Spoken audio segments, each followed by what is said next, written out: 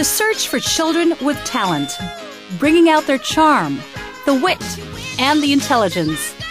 This is the main thrust of the biggest kiddie talent search of SM Supermalls. SM Little Stars. It is now at pride and pleasure that SM Supermalls focus on some of the past winners of SM Little Stars. Erin Novilla, Lexus Libres, Beatrice Jean Clark Basa, Nicole Morgan, Queenie Charmaine Sulit, Gisele Vanessa Diocareza, Brent Joan Peñaflor, Johnny Regana, John Carlo Tan, Christoph Andre Meneses, Joaquim Bernardo Gabriero, Gabriel Luis Ramos, Kenneth Africano, Timothy Lambert Chan, Leila Olet, John Mark Ibanez, Micaela Sofia Harder, Akira Vane Sapla, and Jappy Mercado. All of these past winners now have something in common, aside from the fact that they all started their careers in SM Little Stars. How did it all start? So nakita namin yun, yung ads. Siya nakapansin, gusto niya daw siya sumali. Yun yung first time niya sinali ang contest, SM Little Star. Ano pagda ako sa SM, tamang huminto yung sinakyan ko, nakita ko may pa-search, sabi ko, pagdating ko sa bahay, anak, ano gusto mong sumali sa, ano, sa SM Little Star? Sabi niya, sige mama, sige. Tapos yung ako ng form, tapos late na nga kami mag, nagdumating sa ano eh, naubusan kami ng number. Nahuli siya, naubusan kami ng number. Tapos yung nag-rotation na sa 100 yata. Tapos yun, laro lang siya ng laro. Tapos nung ano na, sasabihin ako siya mananalo. Sabi niya, oh na tayo mama. Sabi ko, hindi, namaya na. Saglit lang. Tapos nung tinawag, yung manalo, siya yung tinawag. Nagulat nga ako. Eh. Tapos di, tawag-tawag ko siya kasi naglalaro siya eh. Tapos takbo siya doon. Tapos sabi ko, anak, ikaw yung nanalo. Tapos takbo siya, tuwan-tuwa siya. When she went home, she handed me this application form. She told me that she is going to join SM Little Star. At first, I, I just ignored it because I thought she was just uh, joking and uh, she's not serious about it, so it will just pass. I realized that she is really serious when she said so. Sa SMB quota may nakalagay di bang mga mga ads di ba nakalagay. Tapos gusto ni Jim talaga sumali. Ayaw ko nga sana kasi sabi ko, baby, sa dami ba naman bata, eh baka masaktan ka lang dyan. Eh, gusto talaga niya. Sabi ko, sige. Tapos yung nanalo si Jim, tuwa-tuwa siya. Ay, mami, sabi niya, nanalo ako. Nakita po namin yung ano ng SM Little Star. Pagkatapos, tinanong ko si Kenneth, Kenneth, gusto mo sumali dyan? Sabi ni Kenneth, anong gagawin natin dad dyan? Basta pagkita mo lang yung ano mo, marunong ka naman sumayaw eh. O sige, sali mo ako dyan, sabi ni, sabi ni Kenneth. Noon, sinali ko siya. Yan, nanalo siya ng ano, ng SM San Fernando. Ah, pumunta akong Mega Mall. Tapos, ah, nag-ikot-ikot ako. Then, palabas na ako. Hindi nakita akong nakalagay doon sa gilid. Di ba? May mga naka-poster na may SM Little Star, ganyan, ganyan. Sabi ko, ay, isali ko. Tatanungin ko muna siya, sabi ko kung gusto niya. Tapos, yun ako, gusto naman daw niya. Kaya, ayun, pinasali ko na. Bali, nakita ni Akira dun sa ah, advertisement sa TV. Tapos, ah, 2009 kasi sumali na po siya. Na nasa Cavite pa kami. Hindi siya pinalad. Kaya noong 2010, nagpumilit siya na sumali. 39 something yung ano niya, lagnat. Eh, nagpumilit. Kaya sabi namin, sige, try mo na nga. Baka eto na yung para sa'yo. Yun. When we are in Baguio, when we are first time in Baguio, there's a competition for uh, search, searching for SM Little Star, and she joined it. Well, actually, first time she don't like because she said, oh, she's so shy. And then after that, when she saw lots of kids, and she said, oh, mom, I want to join it. So Namamasyal kami nun sa SM North. Tapos mayroon kami nakitang pa-register daw ng SM Little Star. Tapos sumali kami kasi lagi ko namang dala yung CD niya, tapos birth certificate. Tapos pagsali namin, nung gabi, nantay na rin namin sino yung mananalo. tapos yun, nakuha siya. Siya yung nakakita nun sa mall, kinot niya attention ko. Ma, sabi niya, gusto ko pong sumali sa SM Little Star. Madalas kasi kami sa SM malls. Nakapagtanong ako dahil nakita ko sila, ano, yung kaibigan ni JC si Aaron Nobilias. Nakita ko sila doon nakapaskil sana. Sabi ko, ay nak, di ba kaibigan mo si Aaron? Sabi ko, sali tayo dyan sa ano gusto mo, sa SM Little Star. Wala naman sa kanyang problema dahil Gusto naman niya kaagad, sumali kaagad. Tapos tanong-tanong ako sa mga doon sa mismo sa SM kung paano magjo-join. Kaya yun, yun nag-umpisa. Namimili kami sa SM Manila noon, tapos may lumapit sa aming ano, sales lady, sabi niya kung gustong isali yung bata. Una, sabi ko wag na lang, kasi mamimili pa kami. Tapos biglang sabi ng anak ko, Mami, sali ako. Sabi ko, wag na, anong gagawin mo? Sabi niya, ano, Mami, sasayaw ako. Tapos nagpumilit siyang sasali daw siya. Ay, nag-prepare kami ng talent niya. Siya lang gumawa ng talent niya, sumayaw-sayaw siya. Sabi ko, bahala ka kasi hindi ko alam sumayaw. So, siya lang talaga gumawa ng ano niya, yung piece niya. Oo. Tinawag yung pangalan niya, pang 70 yata siya nun. Siya yung ano, nanalo doon sa ano, SM Manila. We asked the kids what talents they excel in. I'm good at singing and dancing. Singing and dance! I sing and act and dance.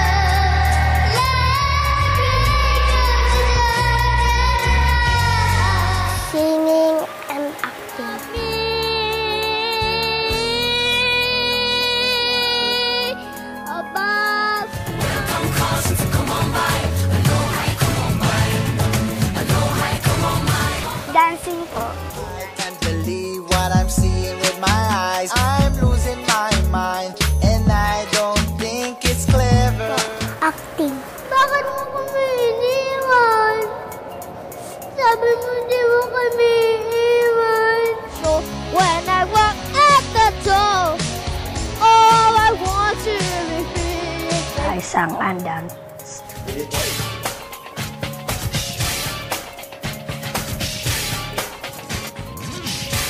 Ang talent ko po magsayaw.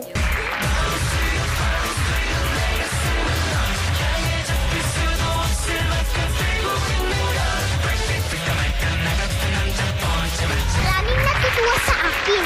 Madalas raw nila akong makita sa TV at sa entablado. Wala raw akong kwentang anak. Walang silbi! Sa ano po, dancing. Oh my God!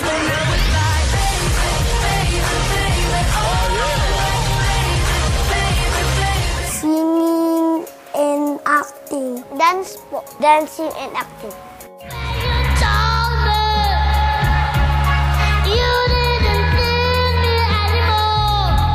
And they also did some impromptu performances like singing. Baby, baby, baby, oh, babe, I'm gonna live forever. I guess I need you, baby. But I'm feeling now because of loving you. dancing.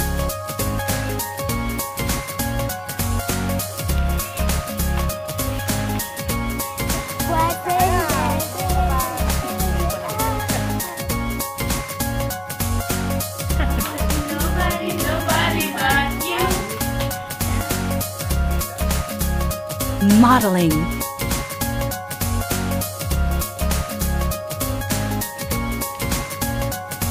And even on the spot acting. Madalas din akong tinatawanan ng mga batang, ng mga batang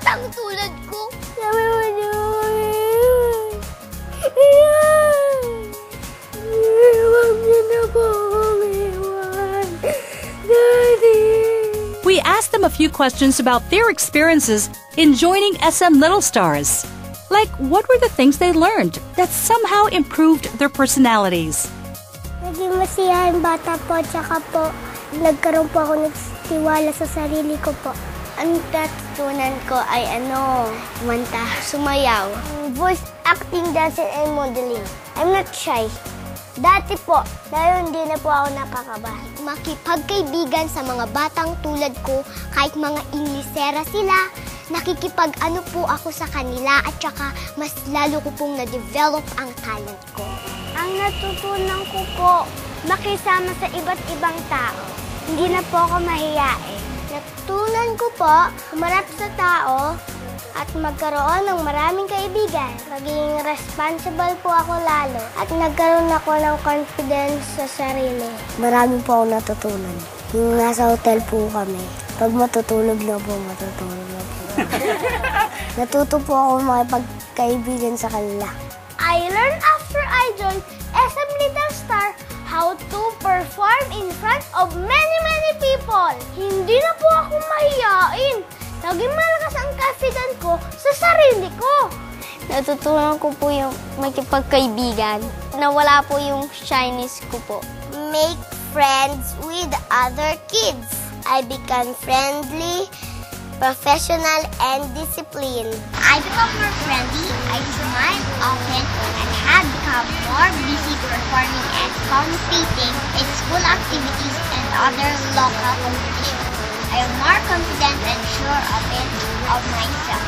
Natutunan ko po makapagkaibigan. Makulit po ako dati, ngayon babe na. I gained friends and confidence after I joined SM Little Stars. I gained more confidence in myself. Now I believe in myself that I can do stuff, more stuff on stage. Natuto po ang may pagkaibigan sa mga batang katulad ko po. Nagkaroon po ako ng disiplina at lalo pong lumaas yung loob ko.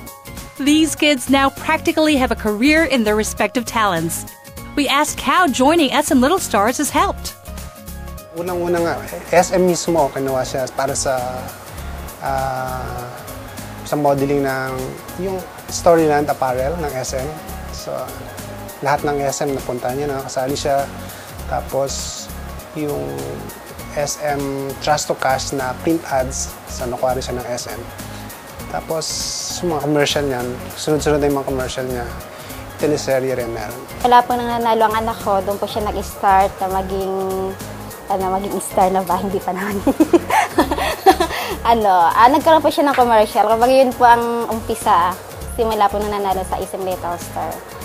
Doon po simula po yung mga tawag-tawag sa akin na pumunta ka sa ganito, ganyan-ganyan. Na-develop yung pagka-bata niya eh. Bilang bata siya, maraming naka, kagaya niya, nakakaano siya sa commercial, sa mga TV, nakaka-extra-extra na siya. Yun ang proud na proud ako sa mga gano'n. Kasi siyempre, diyan kami nagkaroon ng pagkakataon na makita siya sa mga television. Nagpapasalamat po kami ng malaki sa SM. Kung hindi po sa SM, hindi, hindi po siya makagawa ng mga commercial, mga print ad. Doon po siya na, na-discover. Ah, malaki po tayo na itulong ng SM Later Star kay JM kasi mula noon talaga malaking in-improve ni JM. Nagkaroon siya, di ba, maraming mga projects, mga guesting. Saka naging malakas yung confident talaga ni JM. Lalo pag may nakikita siyang mga ano, audition, gusto-gusto talaga niya yan. Malaki po yung natulong ng SM Little Star kasi nawala yung hiya niya, na- yung pagkahiyain niya. Nagkaroon siya ng, ng tiwala sa sarili niya. Kaya sabi ko, ano, dito siya nag-umpisa sa SM Little Star. Dahil po sa SM Little Stars, nagkaroon po siya ng chance na magkaroon ng pictorial dito sa SM. Nagkaroon din siya ng ibang projects na may nakakita sa kanya. May isang talent manager na nagbigay sa amin ng calling card. Pina-VTR siya. Tapos, ayun, nagbi-VTR-VTR na kami. Pagkatapos ng Little Star, mas nagustuhan niya pang sumali ng sumali ng contest. Pag may contest, mami, sali ako. Hanggang sa may mga lumalapit na mga talent scout. Tapos sabi niya, ah, mami, baka gusto mo i-BTR ang anak mo. Nakita po ako ng mga producer, ng mga director po. Movies, like that. TV commercials, teleserye. Lumalabas po ako ngayon sa mga teleserye, sa mga pelikula. Meron na akong commercial, TV shows, at teleserye. Sikat po ako sa school namin. Ang dami pong nagpapapicture. Meron po ako shampoo commercial. Tsaka po nag-BBTR po ako. Meron rin po print ads. SMTV commercial, fast food, juice, real estate, canned fruit, spaghetti, biscuit, and telecom. Print ads, and I'm the model of SM Department Store. Commercials, TV shows, endorsements, at indie films. TV and event, guestings, photo shoots, for magazines and I have also commercial offers. When I won in SM Little Stars, I became more popular. Marami po akong gawang commercial. Juice, fast food, VLS 8, telecom. Nagmo-model po ako. Meron po akong TV commercial at TV show. Ay, meron po ako mga TV shows. Meron din po ako mga commercial. Po, so time po. Tapos po DCC. Meron po akong TV show, meron po akong commercials. The kids also shared with us their unforgettable experiences with SM Little Stars. Enjoy po ako. Wala po akong friends doon. Science Discovery, IMAX Kids Universe, tapos po skating, tapos po sa bowling. Alagbunlok ako, di ba? Masaya po ako. Nagaganyanan ang mga lahat ng people. Nagsasayaw ako doon at saka, at saka nagpalit pa kami ng, ng damit. Photoshoot. At saka nag kumain kami po. I enjoyed SM Little Stars and I have many friends. What I enjoyed most about SM Little Stars was the trip to Manila with my mom and all the activities we did there. I enjoyed my gift and all my prizes when I won. What I enjoyed most about SM Little Stars was the trip to Shanghai, China. Some of them even got to visit China, where they became instant celebrities.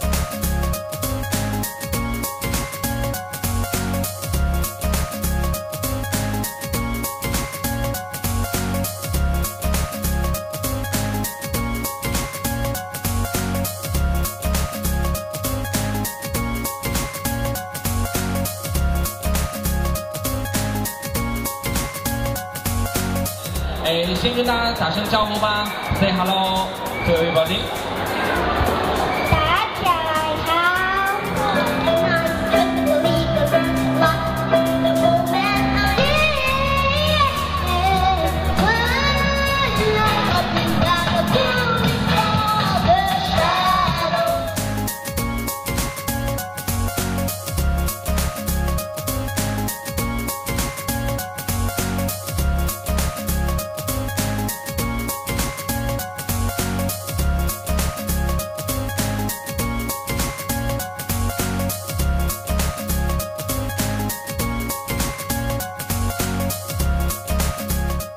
This year, the search continues in SM Little Stars 2011 Year 5.